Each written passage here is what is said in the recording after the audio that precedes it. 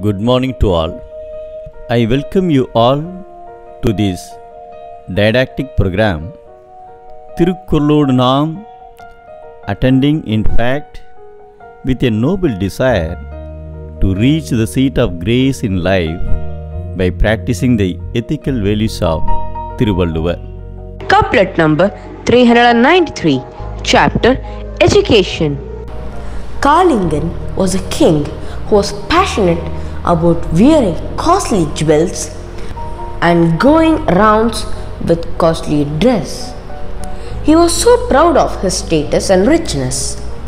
He never respected poets who were highly experienced in their lives and excelled in their literature skills. Though he did not possess education knowledge, he always thought himself that none was equal to him. He was such a self proclaiming individual with a lot of head weight. A poor poet came to him seeking help and to get prizes from him.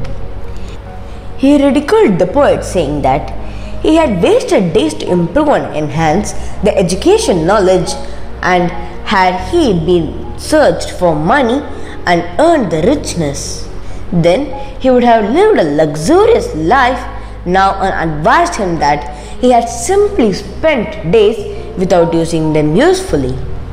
The poet said to the king, Your jewels and dresses are not useful to anyone, and those things will fade away on each passing day. Those things will be taken away by a thief, but the precious jewel of education, which is in me, will remain with me, and nothing will happen to it at any point of time. Education is the only pure and precious jewels in this world.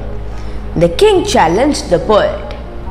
If so, he is ready to visit a nearby country along with his dress and jewels. The poet should also visit the nearby country.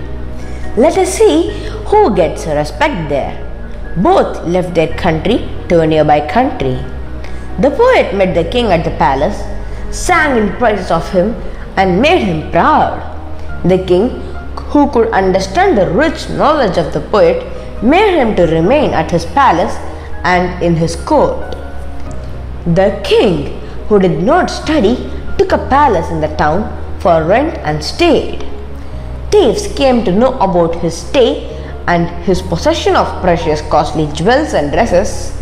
One day they entered the palace and took away everything. The king lost everything in his possession overnight. He did not have money to buy food. The poet, who sensed about his current predicament, informed the king, got some assistance, and sent him to the king of the neighboring country. He also made arrangements to send him back to his country. At that time only, the king could understand the poet's fame and the importance of education. He sought apology with the poet after knowing the fact that the men of wisdom would always be respected at all places and at all times. Only those who have education are considered to have vision.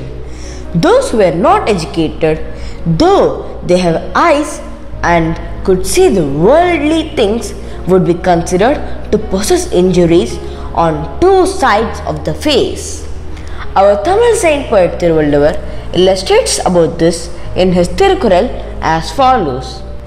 கண்ணுடையர் என்பவர் கற்றோர் முகத்திரண்டு பொன்னுடையர் கல்லாதவர் ஐ reside கண்ணுடையர் என்பவர் கற்றோர் முகத்திரண்டு புன்னுடையர் கல்லாதவர் Education lit up our eyes.